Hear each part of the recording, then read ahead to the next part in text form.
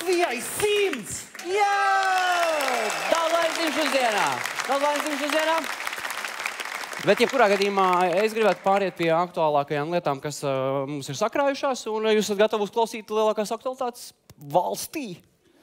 Jūs esat, ok. Sāksim ar pirmo, un es nezinu, vai jūs to zināt patiesībā vai nē, bet jūs visi piedalāties ne tikai šodien pusnakšā filmēšanā, bet arī vēl kādā pasākumā. Un tas uh, Facebook events, lūk, jūs ir arī redzams. Es neiešu uz salūtu.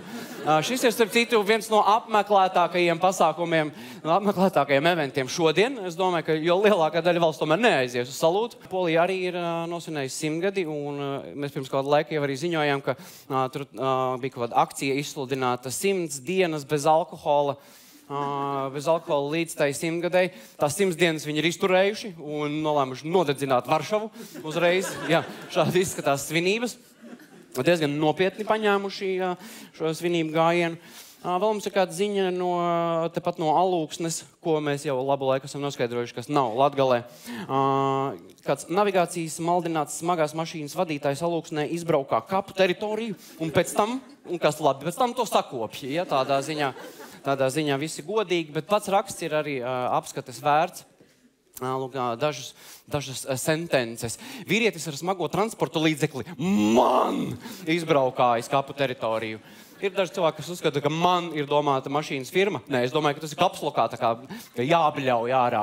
Man izbraukājis, bet jebkurā gadījumā viņš visu pēc tam ir smuki savācis un arī. Uh, un viņš arī ir informējis bojāto mantu īpašniekus. Tātad Iespējams, tur notikuši arī izrakumi.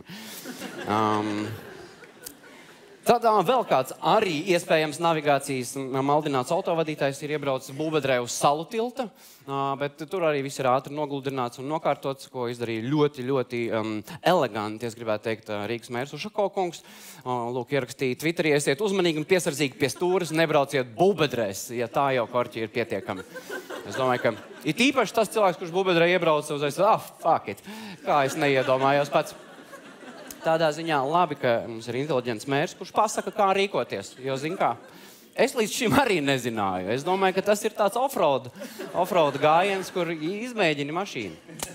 Nevar zināt. Uh, 4. novembrī uh, vēl kāda ziņa no Liepājas. 4. novembrī pēcpusdienā likumsargi Liepājā saņēmuši informāciju, ka ģenerāļa Baloža ielā iespējams, kolosāls raksts, kurā iespējams kāds vīrietis ar ierocim līdzīgu priekšmetu. Var cer, šeit ļoti bagāta iztēle ir vajadzīga un pašam viss ir jāpārbauda.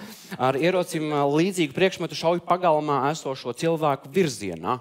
Ja, bet kā beigās noskaidrojās, viņš, diemžēl, ne par laimi, viņš nešauja cilvēku virzienā.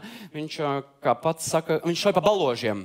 Un tajā brīdī, kad ieradās policijā, viņš atzina, ka viņš jau ir 21 valodu nošāvis kā pierādījumu tam, ka viņš nešauja pa cilvēkiem. Jo, acīm redzot, ja tu vari trāpīt pa 21 valodu, un ja tu būtu gribējis trāpīt pa cilvēku, 100 punktu būtu trāpījis.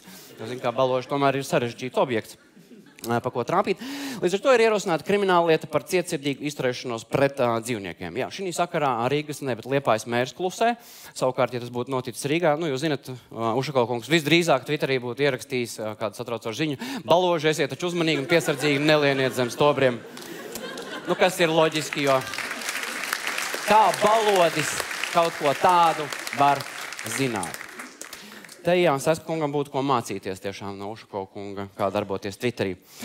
Tikmēr Rīgā pret TV3 varētu, vismaz manuprāt, varētu ierosināt kriminālu lietu par cietsirdīgu izturēšanos pret cilvēkiem, jo Lūk, veģetāriete Elīna Drāke TV3 šovē, šovā laimē gaļas maļamo mašīnu. Es domāju, tas ir diezgan cietsirdīgs joks. Diezgan cietsirdīgs joks, un, protams, bonusā viņa saņēma iespējams, ka saņēma 21 balodim līdzīgu priekšmetu arī, lai kā saka varētu izpildīties.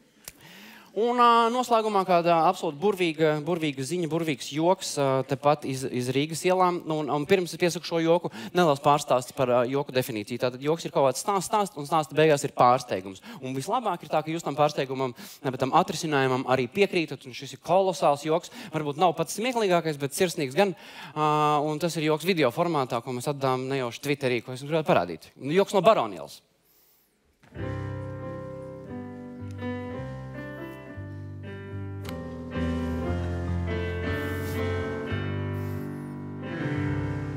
Latvijas lepnumam es izvirzu gan šo tramvaju vadītāju, gan nejaušo garām gājēju, kas novāc bruģi, lai tramvajs varētu braukt uz priekšu.